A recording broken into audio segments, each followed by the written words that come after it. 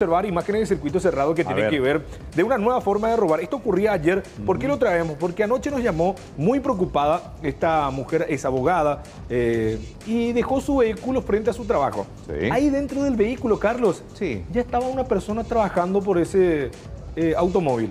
Ah, entró, Ya ingresó entró. en el habitáculo Sí, del vehículo. ya está ahí adentro y miren lo que va a pasar a continuación. Plena luz del día, 11 de la mañana. Observen a este muchacho. 11 y 4. Sí, a ese muchacho que va llegando de remera amarilla. Sí. Viene hablando por teléfono, Ajá. estaba coordinando con el hombre que estaba dentro Sí. de la camioneta. Bueno, ya está Master, eh, yo doy yupi. Ahí sube al vehículo, ya estaba en marcha.